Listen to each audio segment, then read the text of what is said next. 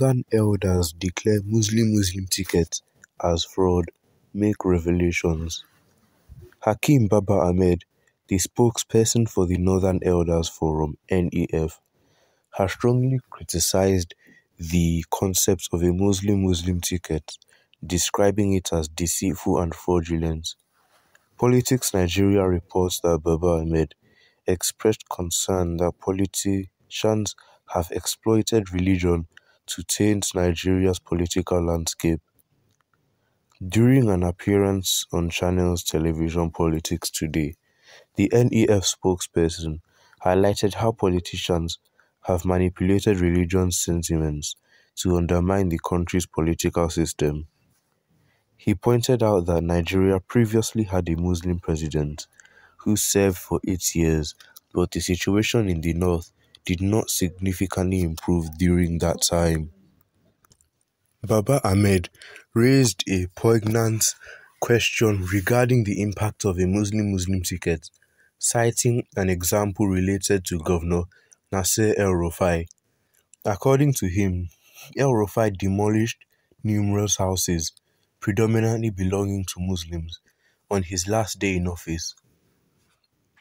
According to him, this example challenges the notion that a Muslim-Muslim ticket automatically benefits the Muslim community. Baba Ahmed labeled the concept of a Muslim-Muslim ticket as a fraudulent scheme perpetuated by politicians.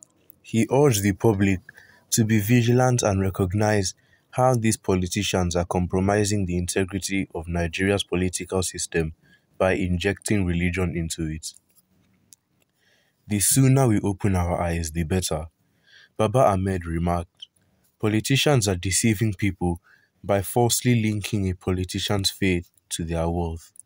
However, a person's faith does not determine their character or qualities. It is possible to be a Muslim and not pray five times a day, just as one can be a Christian with unpleasant habits. Well, leave your thoughts about this in the comments down below. Don't forget to like and subscribe as I check out what people have to say about this. It favors the North, that's why it means nothing. But if it's Christian to Christian, then it will mean something. Keep fooling yourself thinking you are fooling Nigeria when you are supposed to declare you didn't. But now that it is late, you are talking trash. Have you woken from your sleep? You are yet to see their hidden agenda. You supported them before, now you are complaining. Why didn't you say this before the election? Were you asleep before? thank God that uh, thank God that there are still honest and upright Muslim northerners who would say the truths no matter whose ox is God. Mastermind agendas. Don't mind Hakeem Baba. Where was he to condemn or speak against it when it was very necessary? The discovered Muslim-Muslim ticket did not work, but failed to afford them anticipated victory in last presidential election. Because no be Atiku Nabi, when MKO and Kingibe vied for the presidency, then no be fraud na frog abi Tinubu leave Abuja for them. Let's start Oduduwa Republic through an aggressive international lobbying. Of what relevance is this declaration and revelation now? Why didn't you speak when it mattered most? Your current noise is linked to autopsy, which cannot help the dead. You hold your opinion to yourselves. You principal destroyers of Nigeria.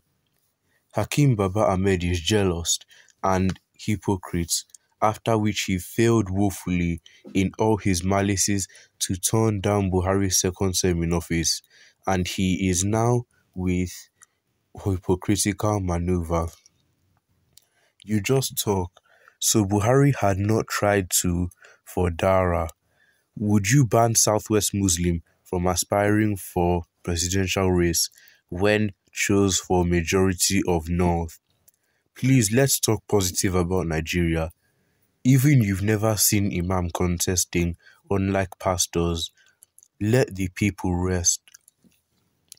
Politicians are always playing jokes of their politics with religion, removing religion out of this most especially for the Muslim that do that they do that it would be good for all of us to enjoy the unity of Nigeria.